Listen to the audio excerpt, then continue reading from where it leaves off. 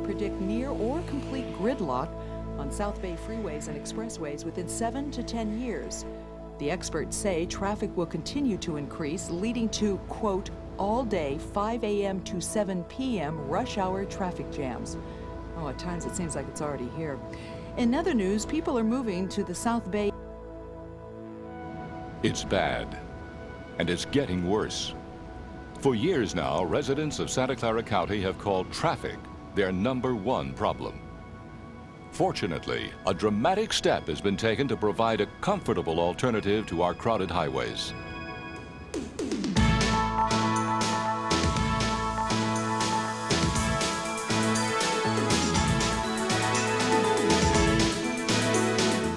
Years ago, voters in Santa Clara County took decisive action in their fight against increasing traffic problems.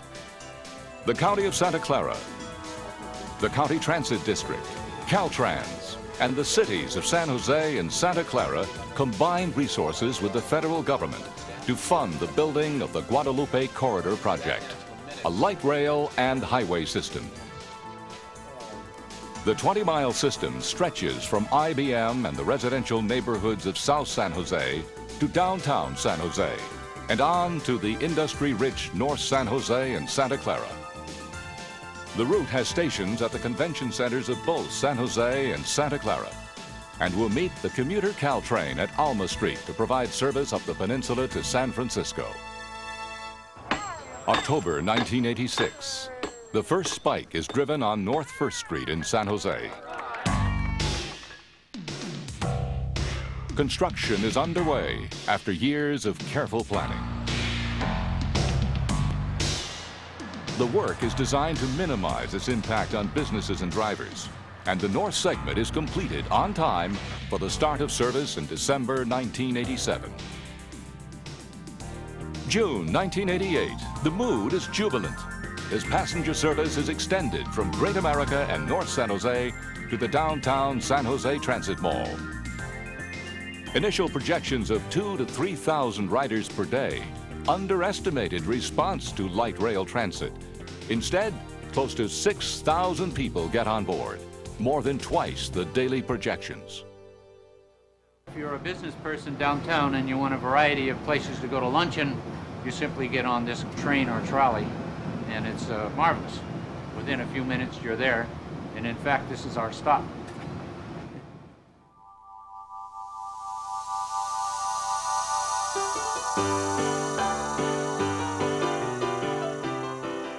Riding a trolley to work or to lunch is nothing new here.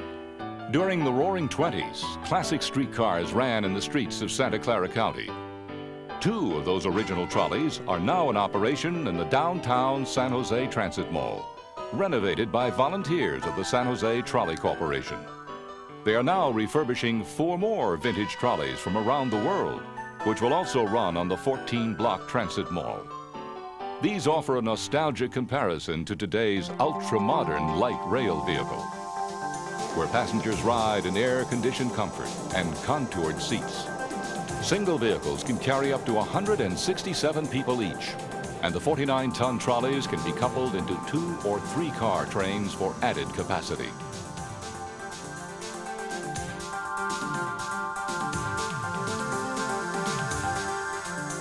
The quiet vehicles cruise at speeds up to 35 miles an hour in unobstructed portions of the north segment, slowing down to safe speeds in areas with traffic and pedestrians and back up to 55 miles an hour throughout the south segment, where the light rail will run in the middle of the 85 and 87 freeways.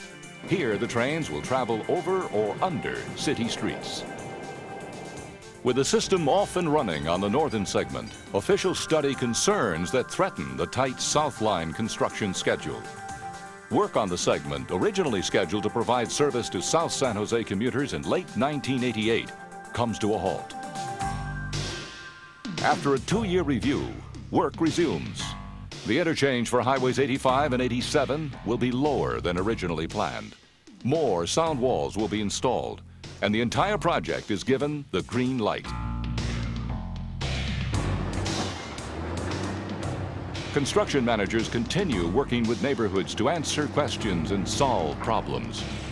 Students and parents, bicyclists and pedestrians are reminded of the dangers around construction sites and heavy machinery.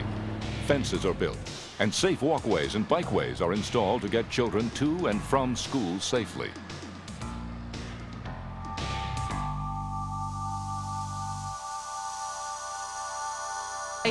Get to work because it's convenient for me to just drive to the train. It's about a mile from my house. Just drive over there and ride it in the morning. It gives me some extra time to just relax before work. Riding the system is easy. The adult one-way fare is 75 cents, with reduced fares available for senior citizens, students, and the disabled. After selecting a fare category, the rider inserts the fare into one of the ticket machines located at every station.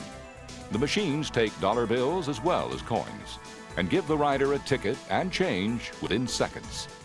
The ticket must be in the rider's possession on board the train.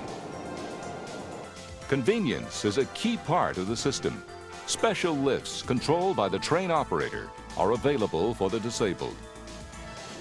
Riders can now board the light rail system at 20 points between downtown San Jose and the Great America Old Ironside stops. The southern segment will add 13 more stops to the system, linking the neighborhoods of Willow Glen, Almaden, Blossom Valley, and Santa Teresa to the rest of the system. In October 1990, riders will be able to take the light rail to the Alma Street station, where in 1991 they can catch Caltrain, the commuter train service up the peninsula to San Francisco.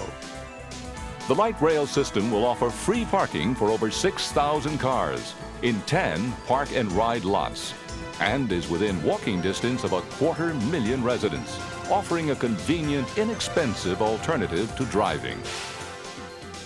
When construction on the light rail South Line is completed in 1991, residents of Santa Clara Valley will have a modern mode of transportation.